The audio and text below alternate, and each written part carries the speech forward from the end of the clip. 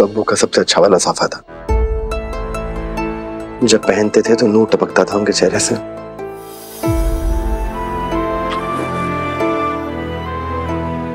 अब्बू दादी ने कहा था कि आप मेरे लिए विरासत में सवालों के जवाब छोड़कर गए हो। लेकिन इन चीज़ों में अपने जवाब ढूंढूं कैसे?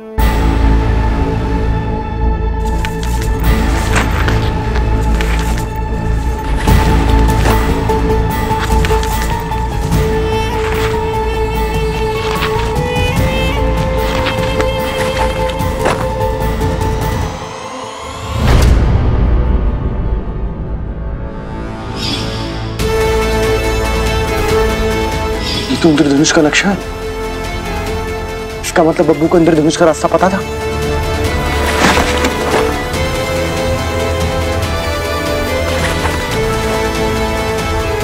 ये नक्शा तो आधा है। इस अधूरे नक्शे से इंद्रधनुष में ढूंढूँगा कैसे? हाँ। आधा नक्शा तो है। तो क्या पता बाकी का रास्ता मैं खुद ढूंढ लू? यही सही रहेगा, अली। कल सुबह मैं अकेला इंद्रधनुष ढूँढने जाऊँगा।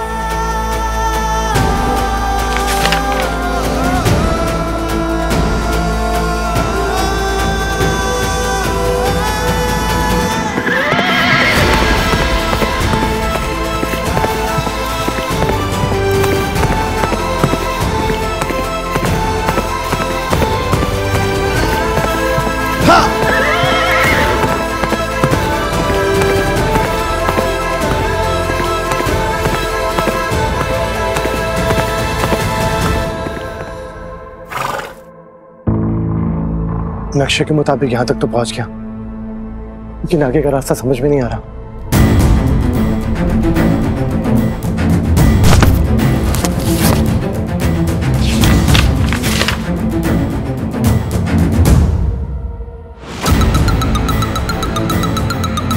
यहाँ से आगे का रास्ता तो नक्शे में भी नहीं। है मैं अपनी मंजिल को कैसे ढूंढूँगा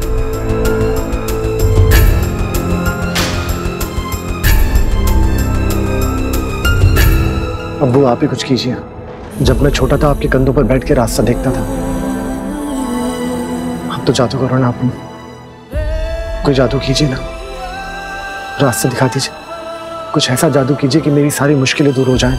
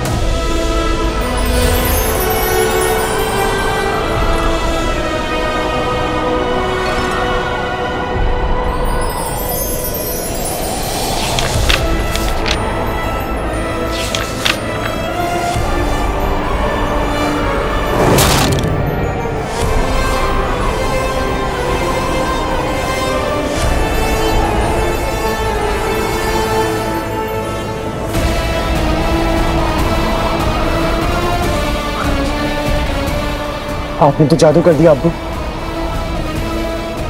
यहाँ से आगे का रास्ता मैं खुद ढूंढ लूँगा शुक्रिया आपका। शुक्रिया आपका। वैसे, अब्बू, रास्ता तो आपने दिखा दिया, लेकिन वो गरीबी वाली बात पे जरा गौर फरमाइएगा। शब खैर, अब्बू। चले मियाँ।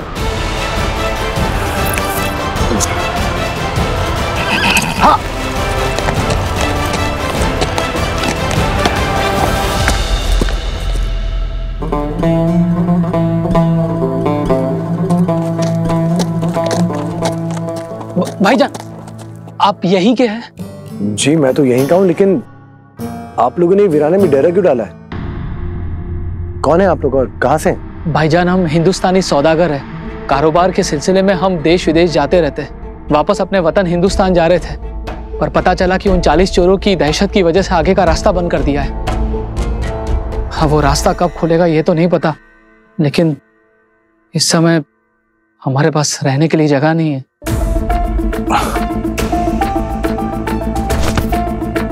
आप लोग हिंदुस्तान से हैं? जी। वहाँ से तो मेरा दोस्त भी है। बड़ा गहरा नाता है मेरा उस जगह से। जब भी हिंदुस्तान के बारे में सोचता हूँ तो मेरी आँखों में रोशनी चमक जाती है। भाईजान आप एक काम कीजिए। जब तक आपके वतन जाने के रास्ते नहीं खुलते आप लोग सब मेरे साथ मेरे गाँव प्रवास चलिए। और वैसे भी चालीस चोरों की दहशत में इतने वीराने में डेरा डालना खतरे से खाली नहीं है। आप सोच क्या रहे हैं? सोच रहा हूँ कि आज के जमाने में ऐसे इंसान कहाँ मिलते हैं। अरे बहुत बहुत आभारी हूँ आपका भाईजान। ऐसी कोई बात नहीं। आप लोग अपना सामान बांधिए और मेरे साथ चलिए। हाँ हाँ अरे सुनो चलो सामान बाँध दो चलना है। चलो चलो जल्दी।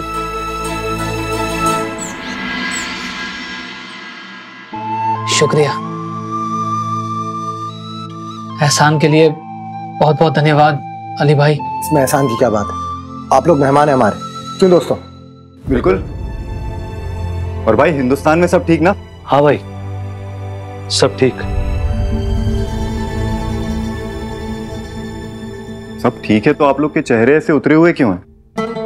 अरे हमारी खातिरदारी कुछ खास पसंद नहीं आ रही क्या आपको? नहीं नहीं ऐसी बात नहीं है। वो दरअसल हिंदुस्तान में कल सबसे बड़ा त्योहार दिवाली मनाया जा रहा है। कल दिवाली है? दिवाली दिवाली क्या होता है? ये रोशनी का त्योहार है अली भाई। इस त्योहार के दिन हर कोई अपने घरों में दिए जलाता है रोशनी फैलाता है खुशियाँ मनाता है हर कोई पटाखे फोड़कर आतिशबाजी करता है एक दूसरे को गले लगाते हैं लोग मिठाइयाँ खिलाते हैं। लेकिन हम ये सब नहीं कर पाएँगे अली भाई हम दिवाली नहीं मना पाएँगे। दिन रात एक करके हमने पैसे कमाए कि इस बार त्योहार पर हम जाकर के घर वालों के लिए तोहफे लेके जाएँगे लेकिन इस वक्त हम नहीं पहुँच पाए। इस बार हमारी दिवाली सूखी रह जाएगी।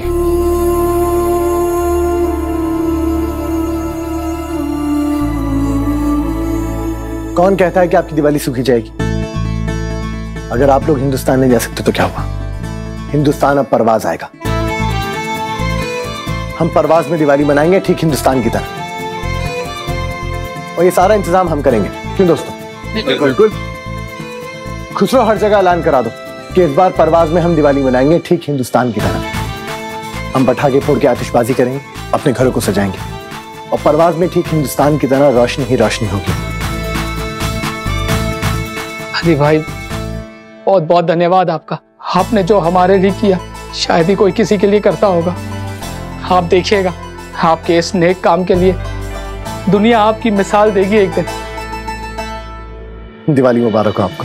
दिवाली मुबारक हो। दिवाली मुबारक हो किशोर। दिवाली मुबारक हो।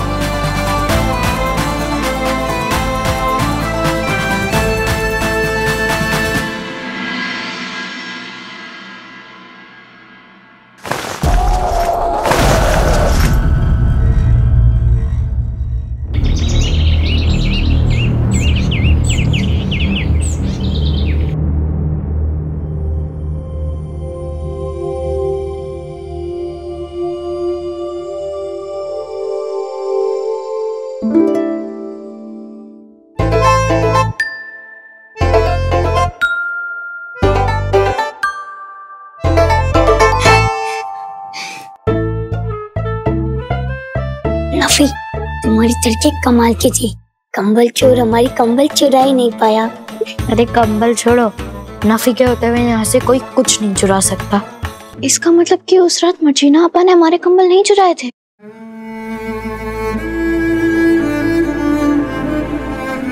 बाबा आपा के लिए नरम पड़ रहे थे और हम सख्त हो रहे थे।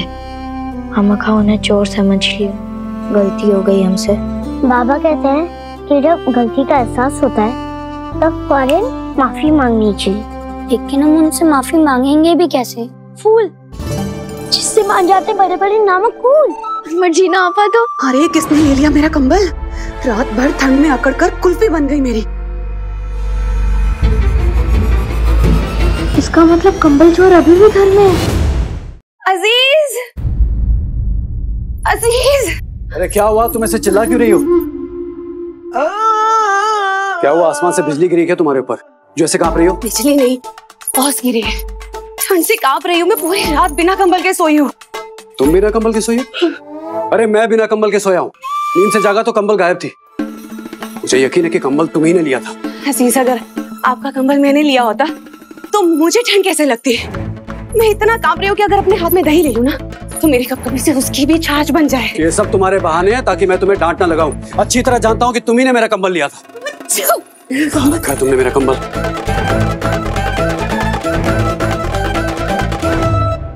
हमने अपने कंबल तो अपने पैरों से बाँध रखे थे, इसलिए कोई उन्हें ले नहीं जा सका। लेकिन भाभी और भाईजान के कंबल किसने ले लिए?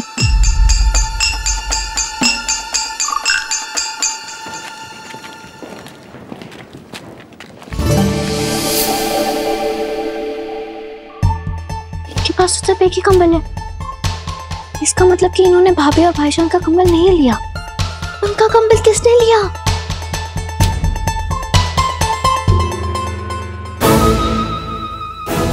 वो या भाईजान वो देखो बिस्तर के नीचे।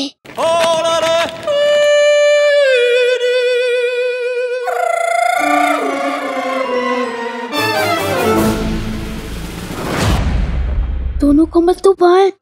इसका मतलब हमारा शक सही था। मर्जीना आपा ही कंबल चोर है। बेवजह अफसोस करके सुबह सुबह दिन खराब कर लिया।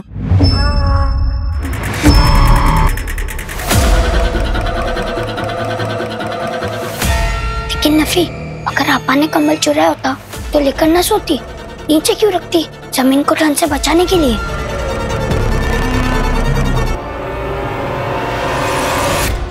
नहीं, अपनी चोरी छुपाने के लिए। लेकिन जब कोई कुछ चोरी करता है तो उसको छुपा कर रखता है ना? इन्होंने तो सामने ही रख दिया।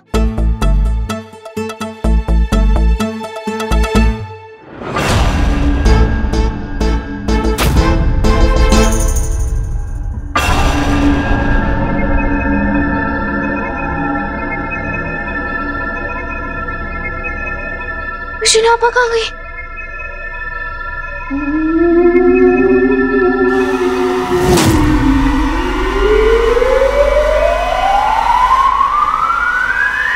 अलीफ आपा ये आवाज़ कैसे आ रही है,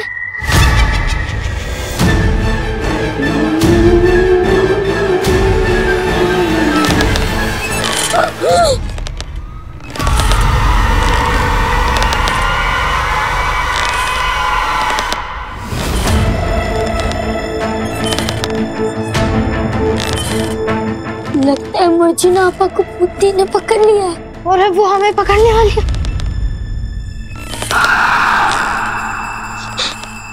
मर्जिना आपा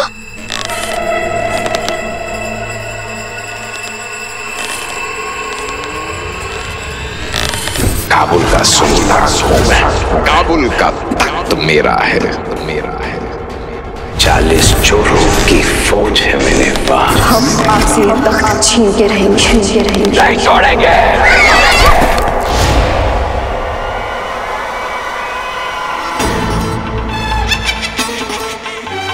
नहीं छोड़ेंगे आपको। नहीं छोड़ेंगे। चोरी करने के लिए इतनी बड़ी सजा। मर्जिना आपा आप हमें जाने दो। आपकी जान लेकर आपकी जान आपकी कब्र पे जश्न मनाएँगे हम। जश्न मनाएँगे हम। नहीं छोड़ेंगे।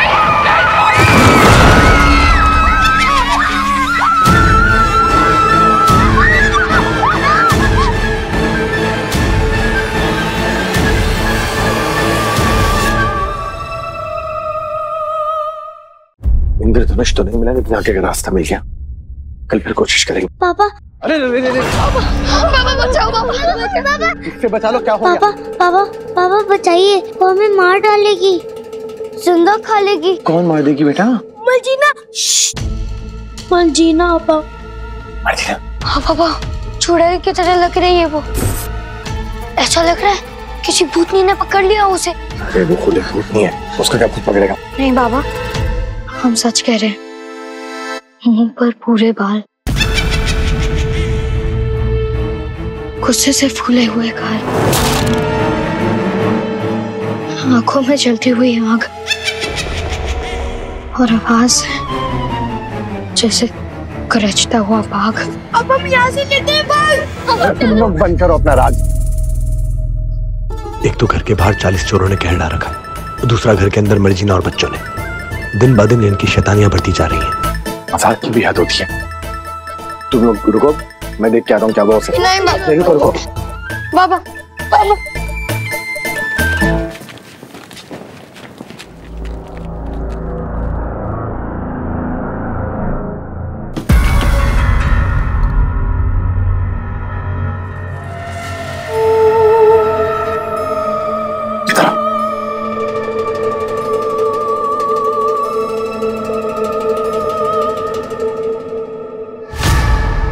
कौन सा भूत चिपका है पे।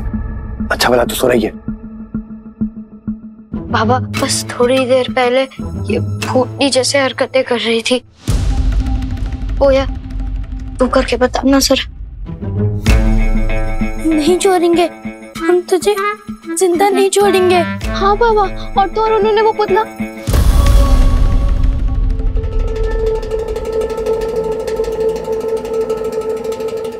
क्या हुआ पुतले को? गिरा दिया था। ये सब तुम्हारी शैतानी है। और अलीफी तुम भी शैतानों के साथ मिल गई। तुम्हारी शैतानी हम पे बहुत भारी पड़ेगी। कासिम भाईजान को अगर पता चल गया मर्जिनों को अपने घर में छुपा रखा है तो हम सबको घर से निकाल देंगे। लेकिन बाबा हम स... मैं बाहर काम से जा रहा हूँ और कोई मस्ती नहीं करेगा।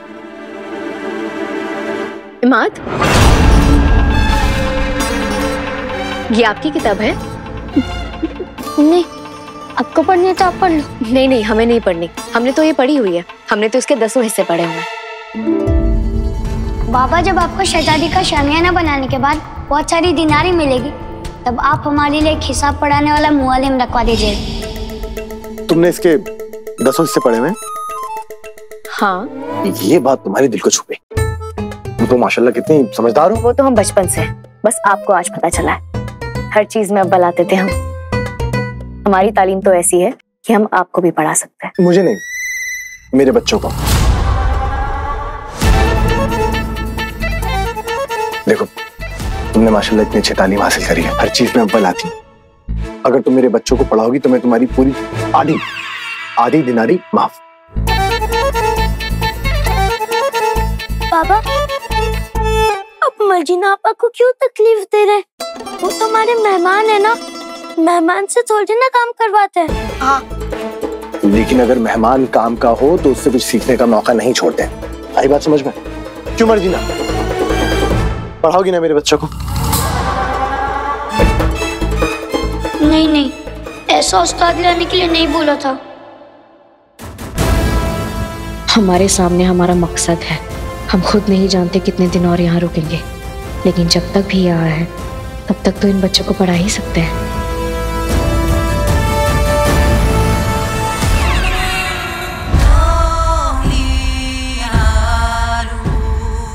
बाप के लिए मुश्किल होता है रोते बच्चे को चुप कराना और आज अली की खुशी का कोई नहीं है ठिकाना।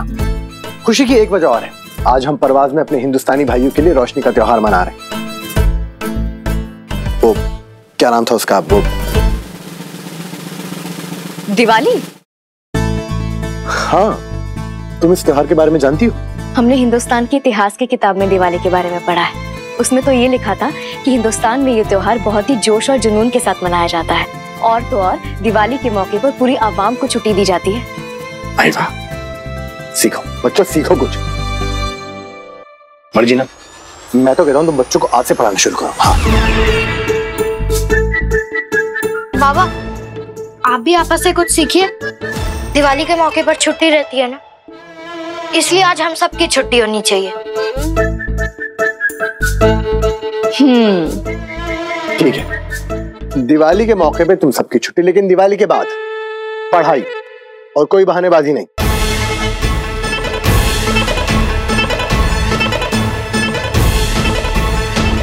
कि मर्जीना आपा तो मुसीबत बनती जा रही है। कुछ भी करके हमें उनसे पीछा छुड़ाना होगा।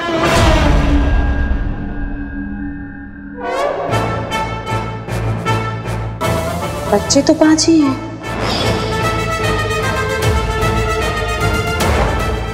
मेरा दिल नहीं मानता।